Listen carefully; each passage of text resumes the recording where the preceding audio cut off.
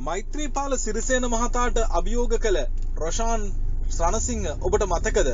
ඔහුට හිමි වුණා රාජ්‍ය අමාත්‍ය ධූරයක්. ඔහු ප්‍රකාශ කළේ මෛත්‍රීපාල සිරිසේනට වඩා Taman මනාප ගන්නා බවයි. පොළොන්නරු ලැයිස්තුවේ අංක 1ට පැමිණෙන බවයි.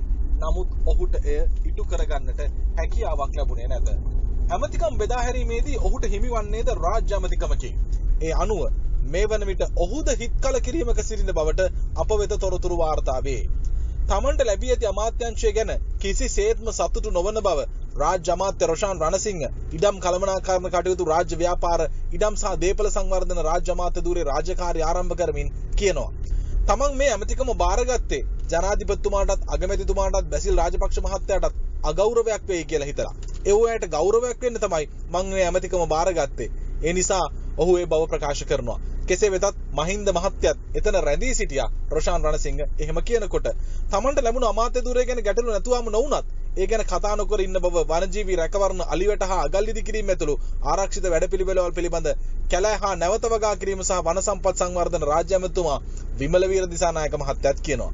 කලකිරීමක් තියෙනවා. හැබැයි කලබල වෙන්න එපා. සහෝදර ඇමතිවරුන් Tamanට කිව්වා. ඒ නිසා ඉවසීමෙන් පරිස්සමෙන් කල්පනාවෙන් කටයුතු කරන බව තමයි මේ වෙද්දි ඇමතිතුමා එහෙම නැත්නම් විමලවීර දිසානායක මහත්තයාත් කියන්නේ. මීට අමතරව තවත් ඇමතිවරු කිහිප දෙනෙක්ම ප්‍රසිද්ධියේම Tamanට ලැබුණු ඇමතිකම් ගැන සතුටු වෙන්නේ නැහැ කියලා ප්‍රකාශ කළා. ඒ වගේම කිසිම ඇමතිකමක් නොලැබුණු අයත් මේ වෙද්දි කනස්සල්ලෙන් ඉන්න බවට අප වෙත තොරතුරු වාර්තා වෙනවා. කොහොම වුණත් වැඩ කරන්න අවශ්‍ය රටකට වැඩ කරන්න කුමන ඇමතිකම තිබ්බත් කමක් නැහැ. ඒ ඇමති ධූරයේ වෙන් වෙලා තියෙන විෂයපතේට අනුව ඔබ වැඩ කරනවා නම් මේ රටේ මිනිස්සුන්ට ඒක සේවයක් වේවි.